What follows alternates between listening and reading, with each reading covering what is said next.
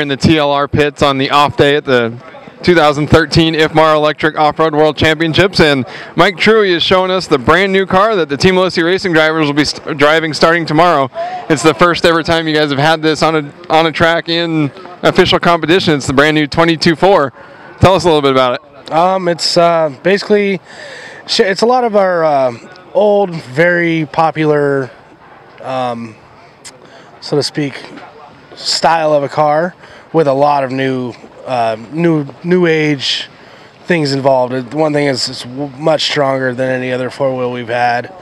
Um, some new geometry in the rear end, especially new big bore shocks, big bore springs. Um, realistically, it's ground up new car. There's not anything, nothing's really shared from the 22. The shocks are different. The uh, all the arms are different. The hubs, the caster blocks. eh, There's, it's not kind of a a 22 made to a four wheel drive. It's ground up new four wheel drive.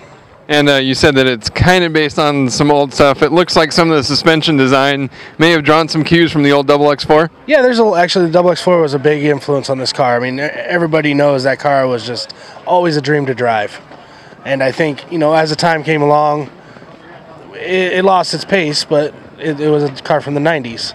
So we kind of started from there, and we wanted to keep that dream to drive and bring it up to speed, and I think that's what we accomplished. And uh, aside from the suspension design, it also shares um, at least the same kind of drivetrain with the Triple X4. It uses three belts. Uh, yeah, same as the Double X4. It's a three belt Oh, car. Um, yeah, that, all that stuff is kind of tried and true.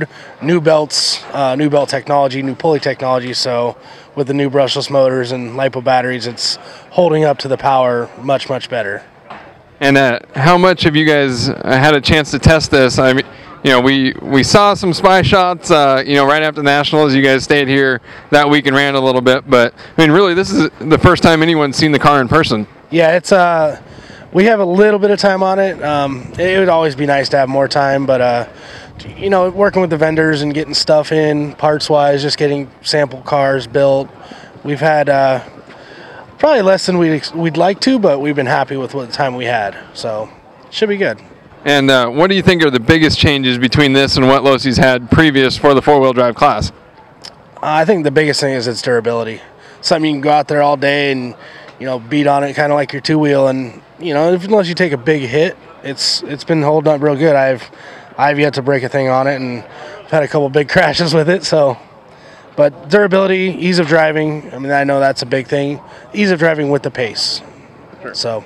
And uh, obviously, durability has been an issue in the four-wheel drive class for basically as long as the class has been around. So I, I imagine that was a, a pretty big concern when starting with the project. No, definitely. There's uh, t- like you said, nature of the beast. Four wheel drives are they're going a lot faster. They have a lot less kick up in the front end, and we've uh, really focused on making it strong, making it user consumer friendly. And uh, our, I imagine all the team drivers here are running the car. Uh, not all of them. We only have we still only have a select few cars. I believe there's seven or eight cars running, and uh, but out of those seven or eight, everybody's been pretty happy with it. Everybody at least got a day or so to kind of shake it down. Well, a few of the guys actually, this is be their first time. First run's going to be practice one here with it, but uh, I think we have a pretty good base setup for him to start with, and should be good. And uh, they didn't change the track actually after the two-wheel drive portion. Um, with all the rain and stuff that they had this week, uh, the IFMAR uh, officials here decided that it would probably be best just to leave the track the way it is so that the track crew wasn't scrambling to put it together.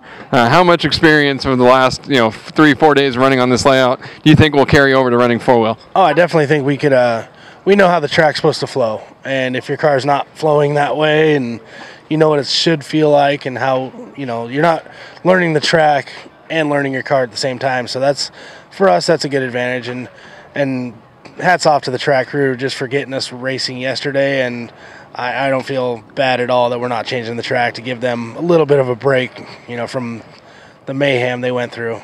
Uh, we see a couple of different things on the body as well. The front looks uh, sort of similar to the Double X4, but um, you actually have a, a large, we could probably call that a, a shark fin or a stabilizer on the back. Uh, looks similar to what you guys have been messing around with in 8 scale. Yeah, it's uh, the cab forward bodies are definitely. Uh, I wouldn't say this is cab forward. It's kind of cab middle, but then putting that fin in the back definitely gives it the stability at high speeds. And I think with four wheel and especially on a track like this, on a lot of tracks, even the European tracks, it's uh, it's definitely a good body to start off with, and you know I'm sure other people are going to make bodies, and we we may make more bodies in the future as well.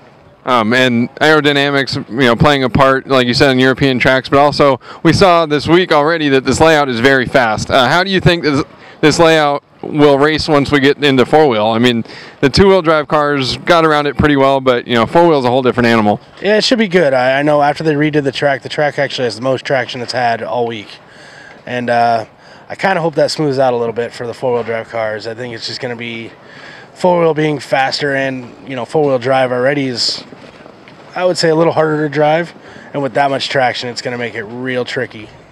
Uh, the some of the other four-wheel drive buggies that we uh, see in the class, uh, they're still kind of based on some of the older designs, even back to when some of them share, you know, platforms that, well, with cars that were designed around, you know, nickel metal hydride batteries and brushed motors. And you guys obviously coming out with a brand new car, so it's it's been tested and tried with the current crop of electronics, do you think that gives uh, you know the, the new TLR car an advantage? No, I definitely think so. It's it's it's built around it, and uh, a lot of the other cars have made their changes to accommodate for all the new electronics and stuff. But to build to be able to build from ground up around that, I think is a good good starting point.